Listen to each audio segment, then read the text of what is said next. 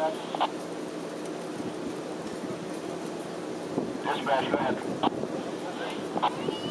Thank you. Uh, give clear signals to the train and stop any road traffic on its approach.